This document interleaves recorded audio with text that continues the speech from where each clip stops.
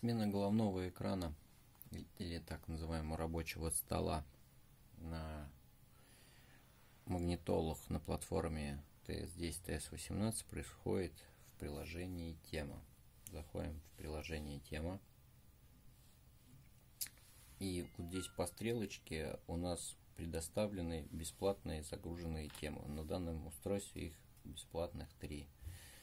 Выбираем установленную тему, применяем и тема успешно принята.